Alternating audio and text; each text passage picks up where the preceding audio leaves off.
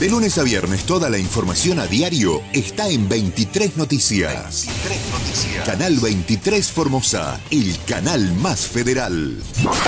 Nacionales. Alberto Fernández dijo, si seguimos por este camino no tengo dudas que tendremos éxito. El mandatario compartió un escrito esta mañana a través de las redes sociales con el título Un mes de aislamiento social preventivo y obligatorio.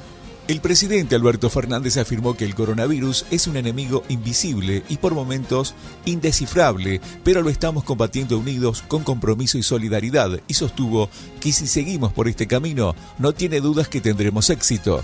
Así lo expresó en un escrito a modo de balance que compartió esta mañana a través de las redes sociales con el título Un mes de aislamiento social preventivo y obligatorio.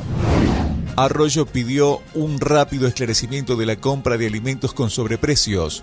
Es positivo que la Fiscalía haya hecho la denuncia penal porque así va a quedar todo claro, dijo el ministro de Desarrollo Social.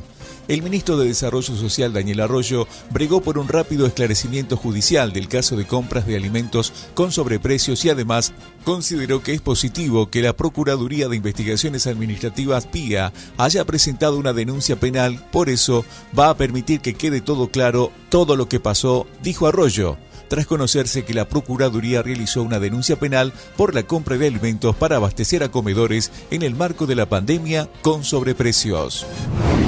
González García dijo la cuarentena va a seguir pero habrá aperturas en distintos lugares. Esto es un paso a paso y va a ser distinto según los lugares del país, dijo el ministro de Salud. El ministro de Salud, Ginés González García, dijo que el aislamiento social preventivo y obligatorio establecido por el Gobierno Nacional para desacelerar los contagios por coronavirus va a seguir después del 26 de abril, solo con características distintas, con aperturas en distintos lugares del país. Espectáculos. Actores denunció a Polka por los salarios impagos y la falta de aportes a la obra social. Según la denuncia de la Asociación Argentina de Actores, la productora no pagó los salarios de la segunda quincena de marzo a los elencos de Separadas, El Tigre Verón, tampoco habría abonado las contribuciones empresarias a las obras sociales de los actores.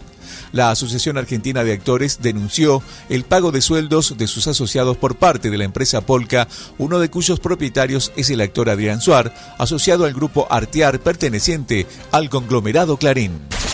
Internacionales. En Italia, ultiman detalles para un levantamiento gradual de la cuarentena. El país europeo mantiene desde el 10 de marzo una serie de medidas de restricción de movimientos y actividades para frenar el coronavirus que está vigente hasta el 3 de mayo, cuando el gobierno inicia un plan de apertura gradual de industrias y comercios. El primer ministro italiano Giuseppe Conte anunció que presentará antes de fin de semana el programa para una salida gradual de la cuarentena por el coronavirus. De lunes a viernes toda la información a diario está en 23 Noticias. 23 Noticias. Canal 23 Formosa, el canal más federal.